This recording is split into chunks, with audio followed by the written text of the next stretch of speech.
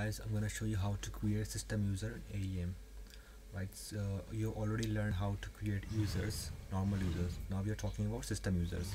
So for that you just have to go to this path crx explorer.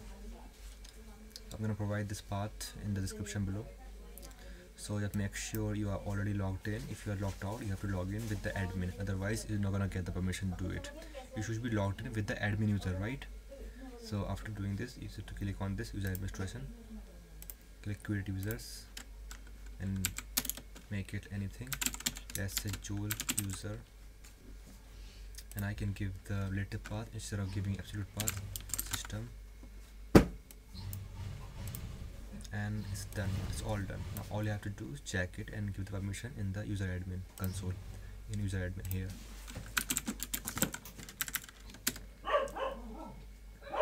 now you can search for this Joel user. You have this one. Now you can simply provide permission to this Joel user just like you do for normal users right? Now let's say I want to use the system user in order to uh, like create some other users like see some other users normal users. So first of all let's understand why we need system users. We need system users to create uh, users uh, through CR, through uh, writing some code right through some API one, uh, there are many many ways to create creating um, users. Uh, one of the way, them is by using uh, your code and from like this from id to this uh, this crx or this admin. that's how you can do this. So after this you have to do one more thing. Let's go on this. So config manager mm, that's a mistake. After that you have to search for apache Sling mapping service. This one. You have to search for this apache Sling service user mapper service amendment. You can provide service mapping. So uh, first you have to give the bundle id so let's see what a bundle id is.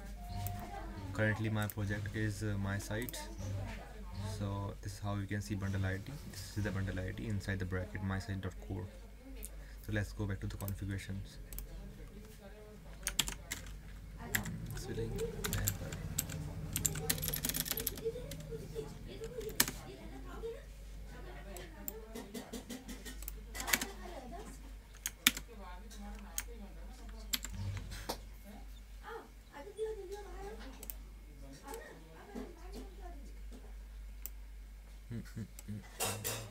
sorry where is it Sling service mapper. Amendment. Amendment. Here it is. Uh, first we can give my site dot core bundle id then colon. This is the format. Colon. Now you can uh, give any here you can create the subservice id you can give it any then you have to remember what you have given here. Let's say i'm writing joel uh, test joel service user. Uh, here you here you're gonna give the exactly the id the id of that system user you created which is joel user. And then save it. Now you're gonna check if it's been saved or not. Search for it amendment and let's, uh, scroll down a bit. You can see all the mapping here. Or you can simply search for the mapping. Joel yeah you can see this mapping. I've already have other mapping like beta user. This is the mapping that we just created Joel user so after this we have to we can simply go on our IDE and write some code for creating users. Let's go to our IDE so this is my project. And inside core I'm creating a folder. Assets utils. Now let's create a class here. I'm gonna name it resolver util. Let's maximize it first let's create a simple constructor for it. For using letter now we can create public static final. Final. String uh,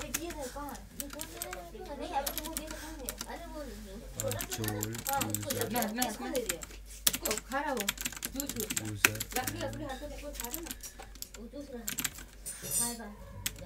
User. service user हाँ, तो and it should be हाँ, नहीं खाएँ खाने के लिए रखें हाँ खाने के लिए रखें। कैसे खाओगे चिल करना हाँ जैसे कोई बचपन में खाते थे। वैसे ही ना। चूल service user now here you can write this method public so resolver static so resolver inside it you have to pass this factory. This was all factory. Factory. Throws login exception. Uh, this is the must. You have to write this format you have to pass in. This factory method factory argument and throw this exception.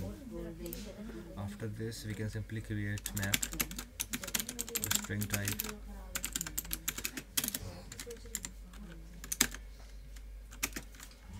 we have to import as well. Map. Let's call it parameter param for map.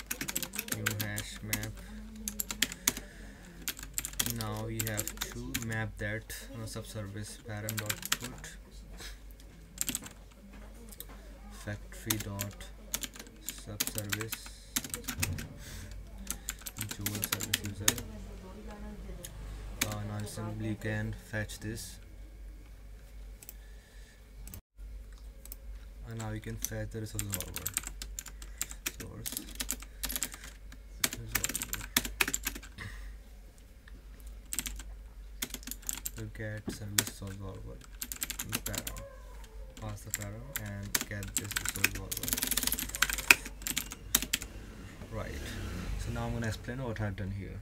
I'll simply create this string joel service user. It should be same as here in Felix console this Joel service user it should be same right?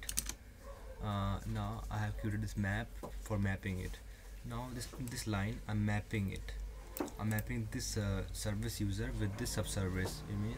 Now I'm gonna be able to use my code in order to create some normal users right? And after this I have to get the resolver. So this is not the a normal resolver. I have to write this down. This is not a normal resource resolver this this resource used for creating creating users and groups in AEM now you have got this resolver now you can create any Sling servlet or model or WCMS Pocho and from there you can use this resolver to create any user or groups in AEM so that's all about it. I hope you like it